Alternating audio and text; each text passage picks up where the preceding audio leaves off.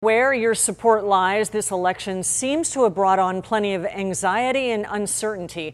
It is safe to say that we could probably all use some words of wisdom and a little bit of perspective.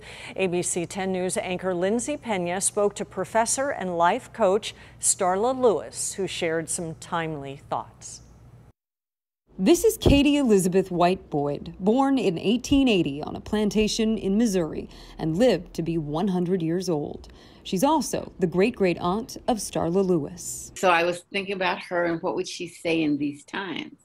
And I, all I could hear her say was, This too shall pass. Lewis, who is a longtime local college professor, life coach, and community activist, began to write down a list in an email that's been shared throughout the area and beyond.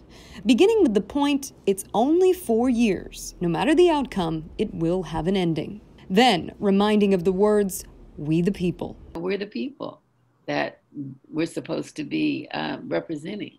That's us. And so we have to hold people accountable encouraging respect. We have to, to be civil and be mutually respectful of one another. I don't have to like what you stand for for me to respect you. When we're not, we become divisive, we become, become adversarial, and we become ununited.